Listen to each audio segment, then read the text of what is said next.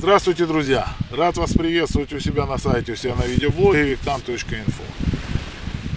И сегодня январь месяц, я на море, гуляю, прекрасная погода, люди купались. И у нас сегодня душа раздирающая, душещипательная тема – это гадание, предсказания, все, что я о них думаю. Ребят, я вам сразу скажу, высказываю всегда свою субъективную точку зрения. Так, я надеюсь, не будет задувать микроветер, потому что появился такой морской бриз, ветер немножко усиливается. Я буду высказывать свою точку зрения по поводу гаданий, предсказаний и так далее и тому подобное. Пускай меня некоторые там тарологи, скажем так, э, гадалки, предсказатели немножко простят, но думаю, что многие и согласятся со мной. Значит, как я вижу эту всю ситуацию, что гадалки, тарологи, в принципе, делятся на две категории. Ну, извините за такое сравнение, но одни считывают, э, одни считывают информацию с, скорее всего, с информационного поля Акаши. Это, я считаю, Акаши дает на любой, на любой вопрос ответ но оно, скажем так, немножко шуточное. И с этого поля считываются желания, то есть желаемое, но никак не судьбоносное. И вторая, вторая категория это те, которые а, предназначение. Нельзя сказать, чтобы судьбу, знаете, ну, каждый человек приходит с определенным предназначением. Я вот не знаю, может сейчас я еще сделаю видео по карме, почему? Потому что, в принципе, уже давным-давно пора в, в группах ВКонтакте а, именно вопрос о карме был а, первым вопросом, который люди просили осветить больше всего. Там был опрос такой, и победила, скажем так, карма. Итак, Значит, второй, э, второй уровень предсказаний это те, которые считывают э, судьбоносную, скажем так, информацию. Так вот, люди, приходящие к гадалкам, к э, предсказателям, больше всего в восторге от предсказателей, те, которые считывают желания. Почему? Потому что приходит такая некая девочка и говорит, ай-яй-яй-яй-яй-яй-яй. Она ничего не... Я же ей ничего не сказала. Она всю правду сказала. Она сказала, что я люблю Петю. Но оказалось, ей только что исполнилось 22 года. Девушку зовут Муна. Сваты пришли к ней в дом и показали фотографию Маслая. Одного взгляда на снимок Муне оказалось достаточно, чтобы понять, это ее судьба. И гигантская разница в возрасте не помеха. Я сразу поняла, этот мужчина станет моим мужем. Его фотография, она как магнит была, притягивала. И это был знак. Я очень счастлива, что боги послали мне этого человека. Что я хочу красную кофточку, что я там хочу на Мальдивы, а мне предлагают в Египет. Ужас. Она все зна, она все считала, что я с Машкой поругалась все. Почему она считала? Потому что о, у нас люди купаются, опять девочки. И самое интересное, что девочки купаются. Вообще какая прелесть. Я тут сижу вот в куртке. А красивые девочки купаются. Красавицы. Значит, это считала с уровня желаний, и она получила информацию, сказала, но это не значит, что эта информация будет сбываться в жизни. От таких первое время больше всего там в восторге, говорят, вау, она в десятку попала. Она сказала то, что вообще знать не могла. Она такое предсказала, вау, вау, вау, вау.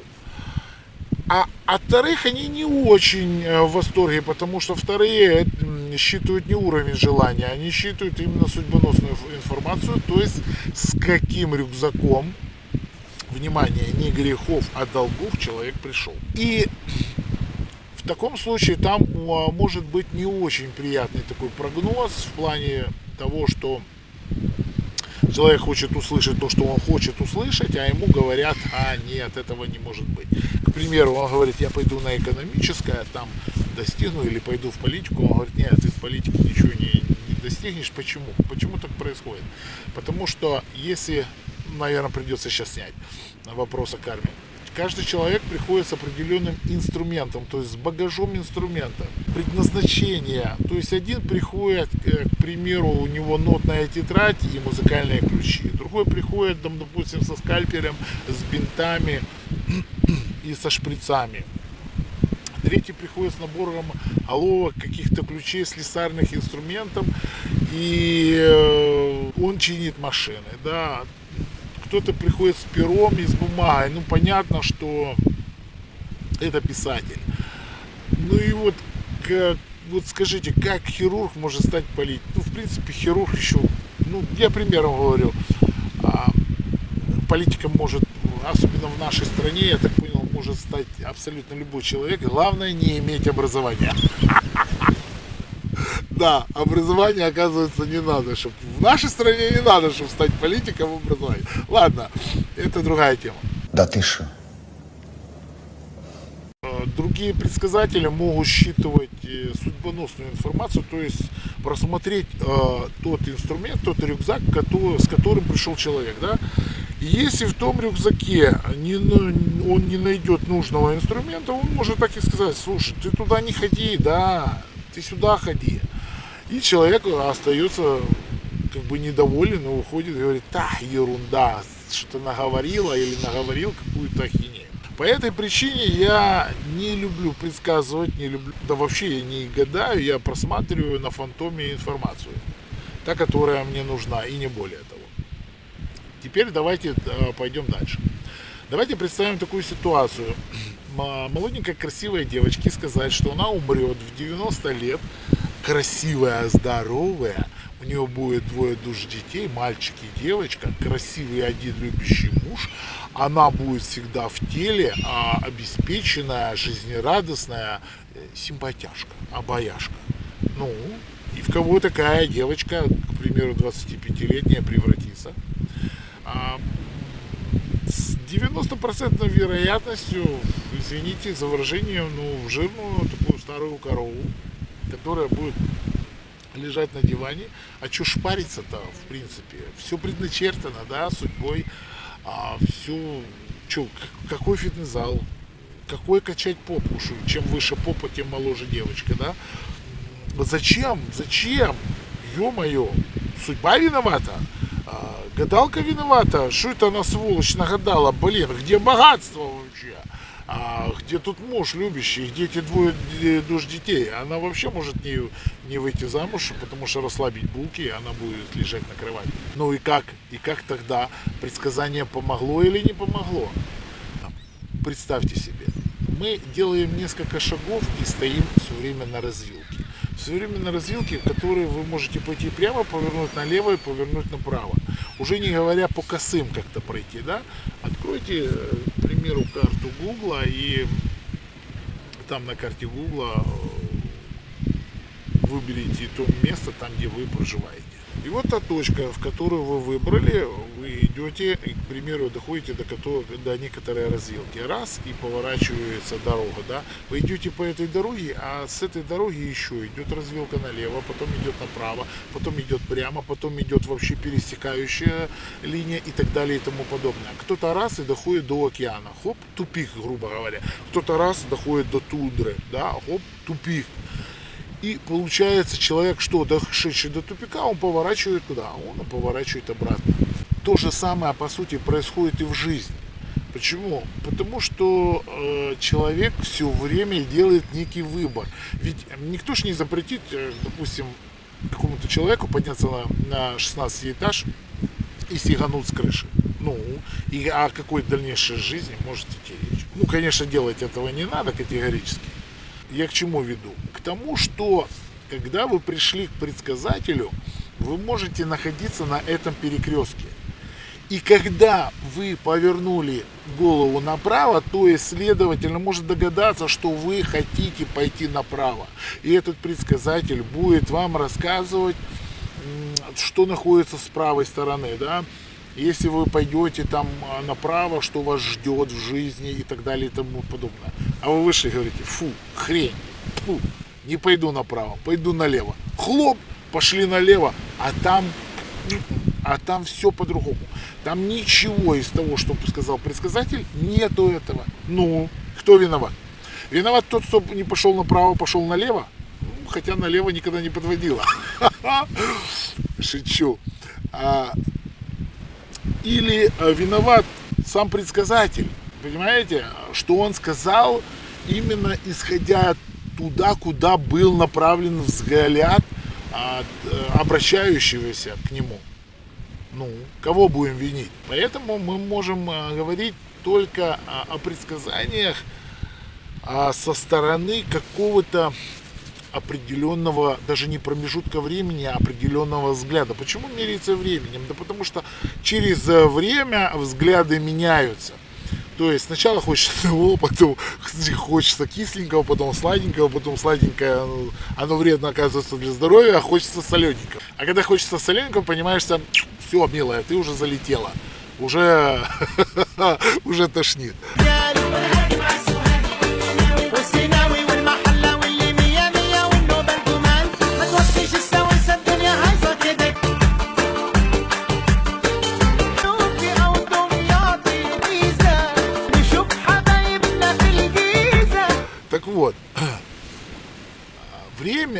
Беременна это временно, да. Время формирует наши взгляды, мысли, желания и так далее и тому подобное. Я вам скажу честно, я сейчас думаю совершенно по-другому, чем думал в 20 лет. Да, причем тут 20 лет. Я сейчас думаю по-другому, чем я думал в 35, в 40 лет. Мне кажется, что думаю лучше. Я так думаю. Так вот, к чему я? К тому, что предсказания, они не могут быть совершенны и иметь э, панацею. То есть, это не факт, что они будут сбываться. Но предсказания имеют как положительный, так и негативный эффект. То есть, к примеру, если человек четко поверил в свое предсказание, то работает как э, и его мысли форма, его работает визуализация, так и эффект плацебо в том числе. То есть и по вере вашей воздастся вам. Если вы поверили в предсказателя, почему иногда срабатывает уровень желания? По одной простой причине. Вы поверили в предсказателя, что она все, блин, она все так четко сказала. Она не могла об этом знать, и она сказала, вау, она самая крутая. Значит, то, что она сказала, это должно определенно сбыться. Ну, по-другому уже быть как бы не может. Поэтому человек начинает верить в эти предсказания и формирует что? Формирует свои взгляды, свои мысли, свои мысли формы, которые он оплачивает энергетически. И это начинает происходить в его жизни. Хорошо, если эти предсказания были позитивны, а если были негативные. И существует третья группа лиц, я не могу сказать предсказателей, но это третья группа лиц, которые мошенническим образом вымогают деньги, типа гадалки и так далее и тому подобное. Также следует помнить, что есть закрытая информация человека, когда человеку вообще не надо ничего либо знать. Я часто люблю употреблять, что а, многие считывают информацию с поля Акаши. Это некое такое поле, которое дает абсолютно любые ответы, вот правильно, абсолютно любые ответы на абсолютно любые вопросы. Но на самом деле остается лишь загадкой, правдивые ли они. А я не люблю работать в поле Акаши, хотя у меня есть формула входа. А, многие даже не понимают, что это такое, ну, ключ входа в это поле. Я люблю работать в поле другом информационном, но мое поле максимум может дать 6 ответов на 10 вопросов. А каши может дать 15 ответов на 10 вопросов.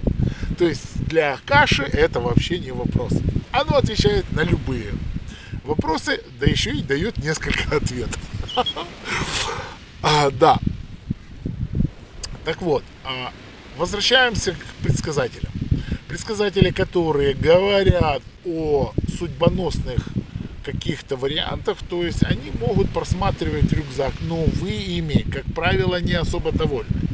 Рюкзак тех инструментов, с которыми вы э, приходите, то есть как бы свое предназначение, ваш уровень долгов, энергетики и так далее и тому подобное. Но это как раз абсолютно может не совпадать с тем, с, вашим ожидаемым результатом. Вот так. Каждый человек вообще-то все равно хочет услышать то, что он хочет услышать, а не то, что нужно. А читая комментарии на ютубе, так я вообще не выдаюсь. Люди вроде как бы сказал такую серьезную вещь, ну, ну так между строк. Я серьезные вещи в основном говорю, честно говоря, между строк. И это правильно. Почему? Потому что не всем дано пользоваться информацией. Многие ее все равно не воспринимают. А большинство, не большинство, ну некоторых будем так говорить, не хочу большинство обидеть, а некоторых э, волнует почему у меня седая борода, почему редкая, почему я поправился на, после Нового года, а, э, почему у меня изменился голос. Короче, они живут моей жизнью. Блин, я им так благодарен тоже а люди э, жертвуют собственной жизнью того, чтобы жить моей. Ну, как их можно не любить? Я их просто обожаю. Но они ж ничего не берут для себя. Ну, вот в чем парадокс. А, они не ловят эту информацию. Вообще люди склонны там слышал звон, да не знаю, где он, нафига напрягаться. Ну, так устроен человек. Ну, вот вы мне скажите, кто из вас балдел учиться просто? А, вы знаете, на летних каникулах, когда учили в школе, мечтал пойти в школу и начать учиться без каникул, без отдыха. Все время развиваться, учиться, читать, там, математику считать, химический фон. Нет, не хотели, нет, когда были детьми. Не, не хотели. Так а что изменилось, когда человек взрослый? Он тоже не хочет обучаться. Ему, блин, легче канал 100-500 посмотреть, попукать, побегать, пивка попить, посмотреть юмористическую программу, ну что ж там, расслабиться, а некоторые вообще не напрягаются. Так устроен человек. Поэтому, как бы, социум иногда нам со стороны фильмов и всего остального ведет к тому, что а, большинство живут, ну вот тут я скажу, большинство живут чужой жизнью, но не своей. Поэтому их интересует, кто как выглядит, э, сколько лет, сколько детей, э, сколько зарабатываешь, э, считаю чужие деньги, но не свои. А на свои, что подсчет денег уже энергии-то не, не хватает. Ладно, я ушел от темы. Итак, предсказатель.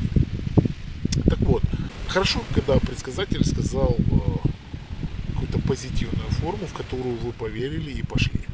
А редко, когда к серьезным скажем так, э, предсказателям, которые считывают уровень судьбы Вселенной, будем говорить так, э, вашего рюкзака, вы прислушиваетесь. А не прислушиваетесь по одной простой причине, потому что это моторошно, это тягостно, это сложно. Человек хочет верить в то, что он хочет верить. А в основном люди верят в то, что видят, э, для них же важно то, что видно, а не то, что не видно. А я всегда говорил наоборот. Важно то, что не видно, ибо то, что видно, и так можно сделать анализ. Для людей, которые говорят, я верю в то, что вижу, а то, что не вижу, этого нет, я люблю отвечать так. Подойдите к зеркалу, посмотрите внимательно в зеркало. Вы себя видите? Ответить? Да, я вижу. Значит, вы есть, да? Да.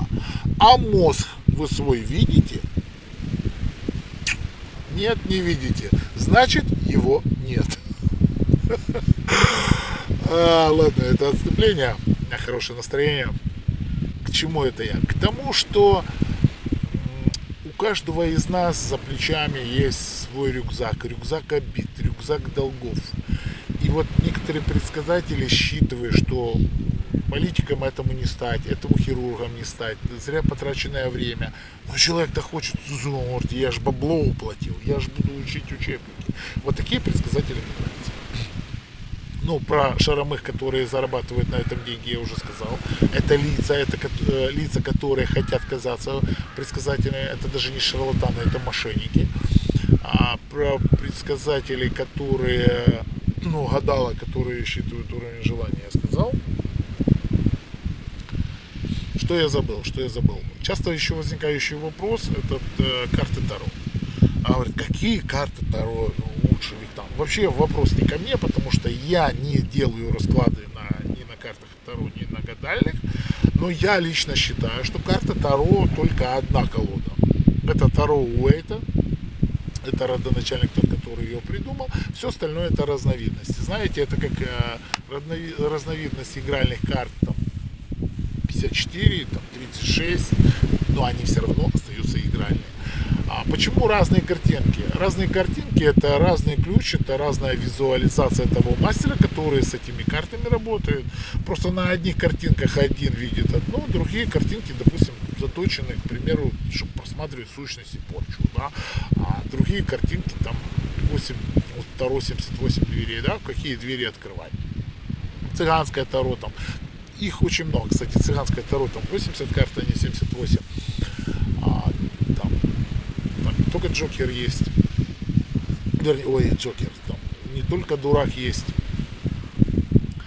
А, ну и, честно говоря, вот интерпретация у многих э, по-другому идет. Вот 15 аркан, а, это дьявол, да, все говорят, о, все, это, это начало новой жизни, это перерождение.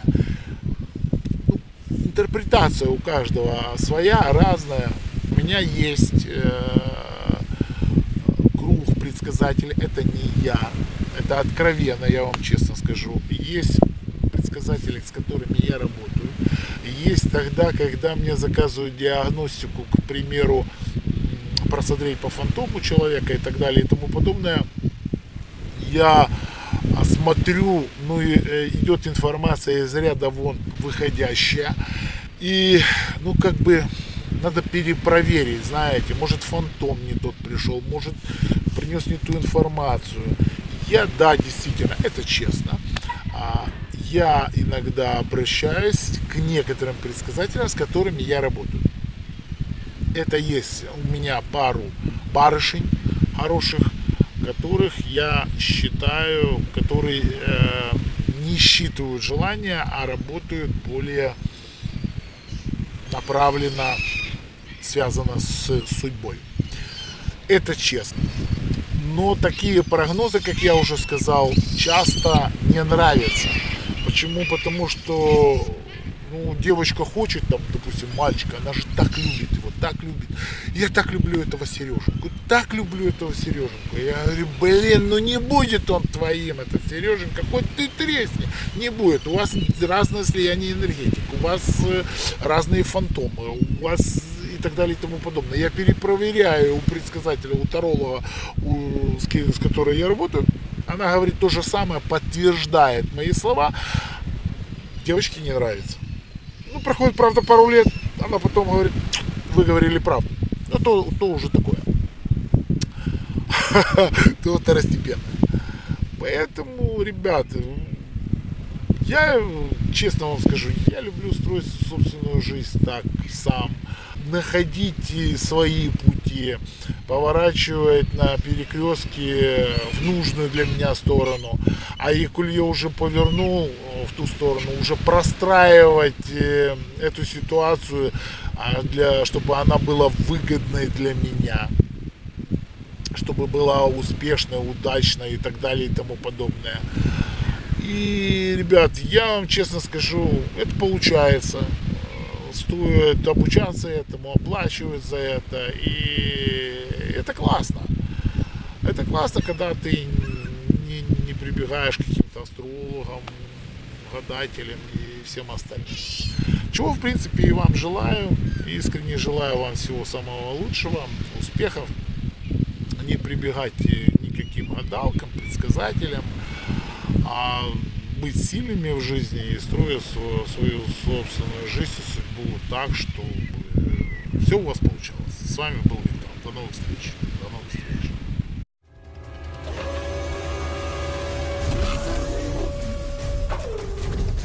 Ты еще не подписался на мои видео?